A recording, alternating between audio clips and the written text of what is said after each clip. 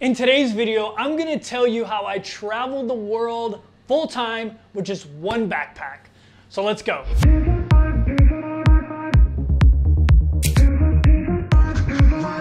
What is going on YouTube? Greetings from my little studio apartment here in Waikiki. About a month, month and a half ago, I hopped on a plane headed here to Hawaii with plans to continue traveling. I'm headed to Thailand next. And just like my international travel before, I wanted to travel with just one backpack. In the past, I did a couple packing videos. I did one when I first started and I actually had a backpack and a satchel and then I updated that video about a year later, but my packing style and even my bag has changed, so I figured it was time to do an updated video. Okay, so first let me tell you why I travel with just one backpack. It's pretty simple. I hate checking luggage. I mean, I absolutely hate checking luggage. I like just walking on the plane with what I have and then walking off after the flight and head out into whatever new exotic place I'm at without having to worry about all that stuff. Plus, it kind of forces me to be a minimalist and travel with less. Although when you see how much I actually have in this bag, you're gonna be like, dude, you're not a minimalist, which is fine. So if you watched my previous video, you know I traveled with a 30 liter Osprey bag. And I love that bag. It's a great bag. I'll probably travel with it in the future, but I wanted to try something out different, something a little bit smaller, and the reason for that is when you're overseas, especially in Asia, when you're taking the budget Asia airline flights, a lot of times the overhead bin storage is super, super small, and my 30 liter Osprey backpack would not fit above, you know, in the overhead storage. It also wouldn't fit underneath the seat in front of me. So I oftentimes would have to check that and that defeats the whole purpose of traveling with just one carry-on bag, right? So I got this one because it is a 20 liter bag made by Nomatic, but it's expandable to 30 liters. So right now it's in 20 liter mode and this thing will fit underneath the seat in front of me. I've tested it out, it definitely works. And let's, let me start showing you some of the features of this bag and what I've got inside of it. I know the Nomatic bag is kind of like gimmicky. It's like geared towards travelers. And I saw the commercials all the time. I got spammed, you know, on Facebook with ads for it. And I thought it was kind of gimmicky. But now that I've had it for a little while, it's actually really, really functional for a traveler. I'm not sponsored by Nomatic in any way, um, but I'm digging the bag. So one of the features is it's got all these like handles everywhere and they're really solid. And so you can carry the bag however you want. You can tuck in these straps to make it like a briefcase if you want. Uh, so that's really, really cool. There's also these magnetic water bottle holders. I sometimes use it for tripod actually to hold my tripod, um, but they're really convenient and they, they tuck away when you're not using them. So that's pretty cool. There's also a hidden pocket in here and you know you can hide cash in there or your passport or whatever. But uh, yeah, let's open this thing up. Actually, let me show you so right now, like I mentioned, it's in 20 liter mode. All you gotta do is hit this zipper here and you can make it, well, not this zipper. Wrong zipper, we'll come back to that. All you've got to do to make it, uh, to make it 30 liter mode is hit this zipper right here and boom. Now you've got 30 liter mode, gives you a little bit more space. I always pack it in 30 liter mode and then transform it into 20 liter mode. So I just showed you this, but this is also a really cool feature for airport travel. When you're going through or when you're going through the metal detector, oftentimes you have to take out your laptop. In many bags, you have to like get into the bag to do that. But with this one, it has this like easy fold down thing. I can take out my iPad and my 15 inch MacBook Pro and I'm good to go. I'm gonna throw everything on the bed so you can kind of see how much stuff I have in here. All right, so that's pretty convenient. And then you can just zip it right back up.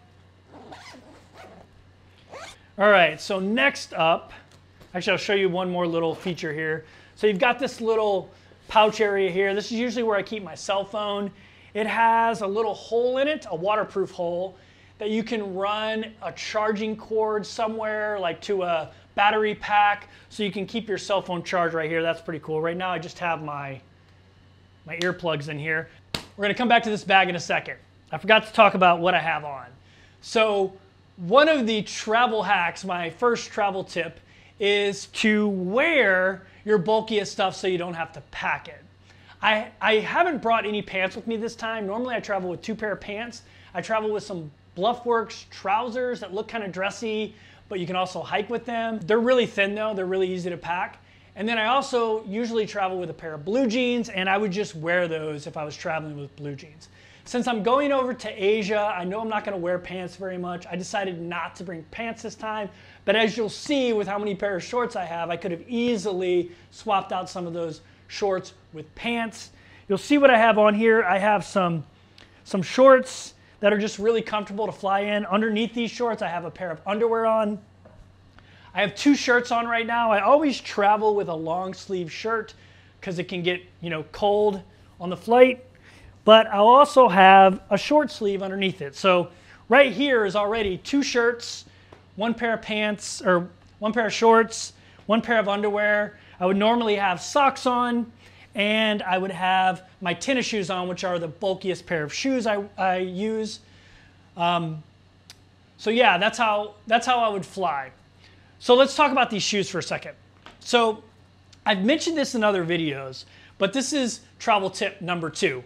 Get a pair of black running shoes that are also kind of made for hiking and are waterproof. The reason for black is if you do have those pants with you, the nice pair of blue jeans or the Bluffwork slacks, you can pair them with these shoes and this long sleeve black shirt, and you'll be able to get into the most exclusive nightclubs.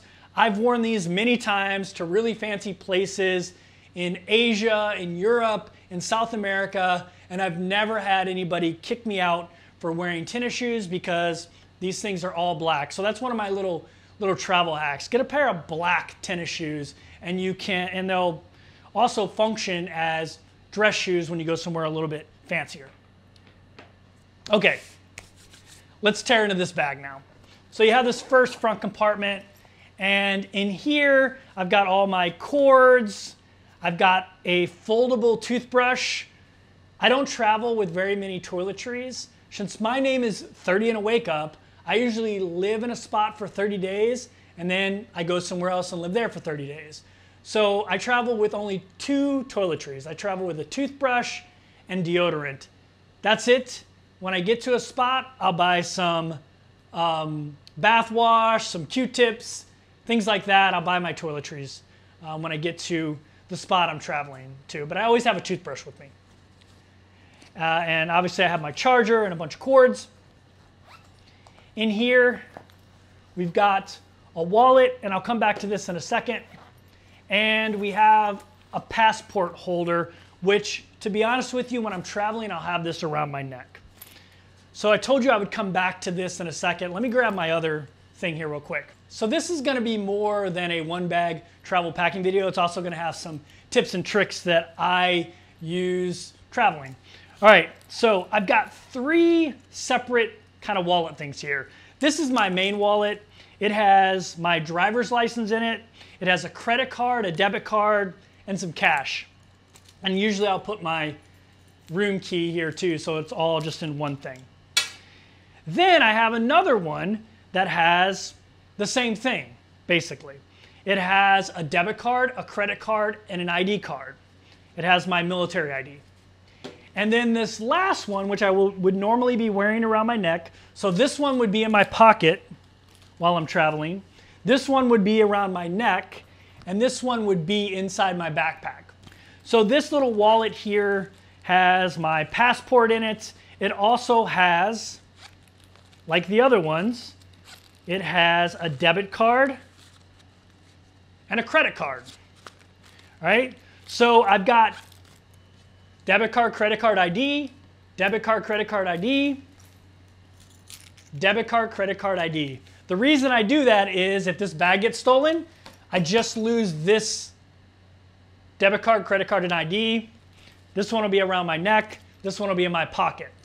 If I'm out in town traveling, my, ba my bag's back in my apartment, This is in my pocket. It falls out. I lose it. I get pickpocketed. Back in the room, I've got two sets of IDs, two sets of debit cards, and two sets of um, credit cards. so that's just the way, this makes me feel comfortable. And I've lost my credit card, debit card, and ID before. And that's when I kind of went to the system, when I had to go through all the hoops to get all that stuff back. It's, it's, it's a huge pain. So, you know, take that for what it's worth. Maybe it's overkill, but it works for me. And that's pretty much it up here. Normally I'd put a bunch of other stuff like my travel documents and things like that up here too when I have those. So you can see there's plenty of space up there. Let's get to the meat and the potatoes of this thing. So when you open this, I also got space for different things. I don't really have that much in here, as you can see. Um, so, but I could store other stuff in here. All right, this is where everything is. So in this bag, I'm not gonna bore you with too much of this, but I'm a YouTuber. This has all of my camera equipment, all of my sound equipment other than what I have on right now and what I'm using. I'm using my phone to record this. I'm using a little tripod that's collapsible to about this big. And I'm using a little audio device here. I'll just show you. I'm using a little audio device here. So that would also be packed in here. Inside this thing is all my other video equipment, my little gimbal, my Bulldog head shaver, right here, my beard trimmer, just about every piece of electronic that I need is in here. And then I have some cords and miscellaneous things as well. So I always carry a universal plug with me. So this thing works in a bazillion different countries. It has a bunch of USBs on it. It has a USB-C on it. I can use it in the UK. I can use it in the EU. I can use it in Asia. And they pack up pretty small. So highly recommend one of these. Another reason I have all my electronics in this little case is when you're flying in these budget airlines, sometimes they'll weigh your carry-on. And if it weighs over a certain amount, they'll make you check it. So before I go up to the ticket counter, I always pull this out and just carry it with me. And I also pull out my laptop and I pull out my laptop and my uh, iPad as well because they're both pretty heavy. So I pull out all of this stuff and just carry it with me. Like this is my little extra item I can carry on. And so my bag will weigh much less without this stuff in it. And once I get my ticket and everything, then I'll throw all this stuff back in. I've never had an issue with that. I also have my, this is my MacBook Pro cord. I usually get a really long MacBook Pro cord and a more durable one than the one that comes with it.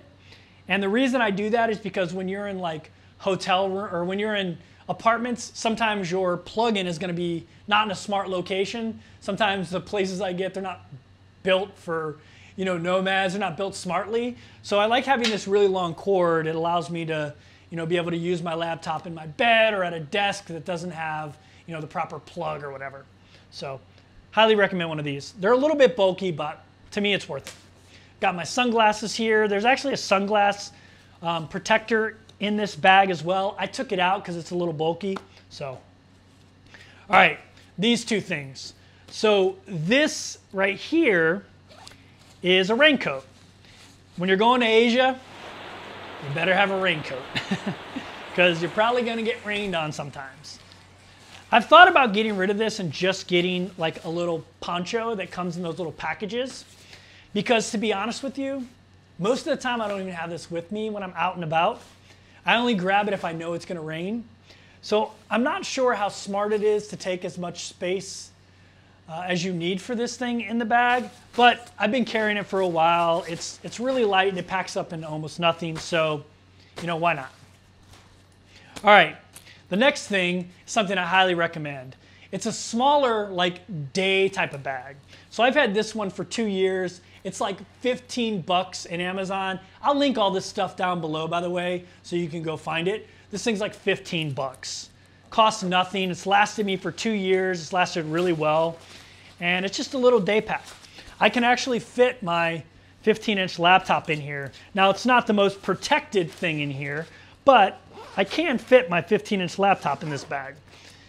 And so, you know, I highly recommend doing that. And if for some reason the airline decides to check my bag, I can whip out this little bag and put like my valuable stuff from this bag in here. So I don't have to worry about this, you know, stuff getting stolen out of this bag. All right, next, I mentioned deodorant. Bam, there's some deodorant. Okay, I think that's everything that's not closed. So, I used to travel with a compression sack, but I found with this bag I don't really need it. It doesn't like compress the stuff super well, but it has this separate compartment for clothes and which you, by the way, have access to here. So if I wanted to get it without having to go in here, I could get to my clothes here. I didn't feel the need to use compression sacks with this. So I could probably save even more space if I did use compression sacks. All right. So let me show you what's in here. I probably have too much, by the way. So I've got two pair of underwear. I'm actually going to add one more. So I've got one on, I've got one here. Most of my shorts are lined though. So to be honest with you, normally I don't wear underwear. I go commando because I have a liner in my shorts that is basically underwear, right? The next thing we're going to talk about is one of my favorite subjects. It's merino wool, specifically the company Unbound Merino. For those that don't know, I've been wearing this stuff for a long time. I've been talking about it on my channel, on my Instagram. Eventually, the company reached out to me and said, Hey, we love that you're talking about our stuff. We'd love to give um, your, your viewers a discount. So they gave me my own code. You get 10% off, they give me 10%. If you go to www.unboundmerino.com, you can order from anywhere in the world. They'll send it to you, and you use code VANLIFE, and you'll get 10% off. So it's pretty cool. The secret for me for traveling with only one bag is merino wool. I know what you're thinking, Kevin, wearing wool in Thailand, that's nuts. You've never wore merino wool. It is breathable. It works great in tropical climates. I'm here in Hawaii right now. I've got on merino wool. Every shirt I have is merino wool. The owner of Unbound Merino has a video where he wore one of these shirts for 30 straight days in Thailand and didn't have to wash it.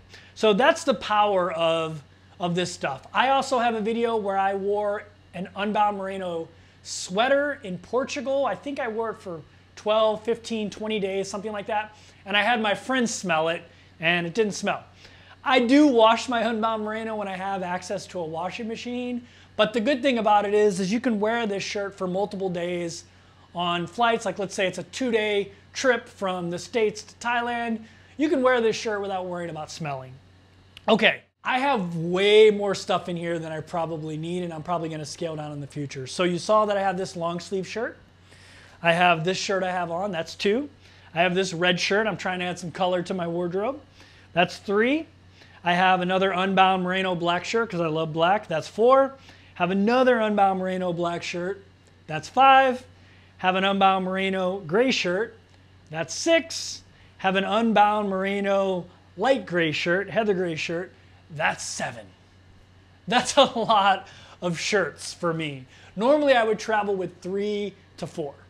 So I'll probably scale that down. But that just tells you how much, you know, that you can travel with just one backpack if you're even more of a minimalist than I am. I also have way too many shorts.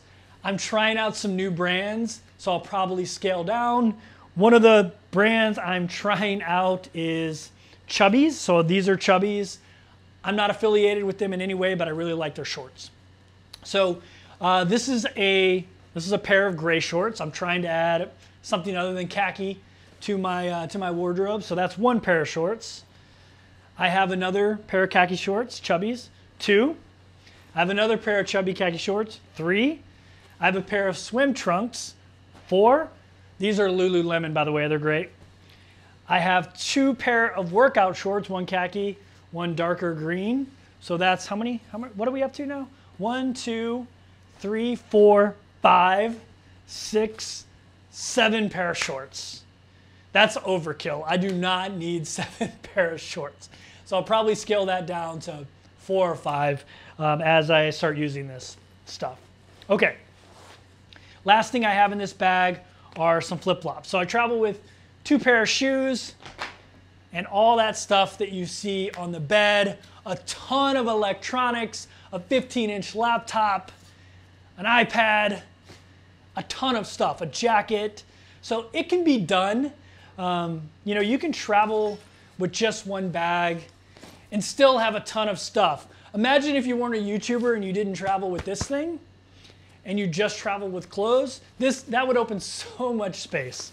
All right, so I'm done. That's the video. If you enjoyed it, make sure you hit that thumbs up button. And if you like travel content, you're excited to see more Hawaii, you want to see some of Thailand coming up, make sure you subscribe. Thanks for watching.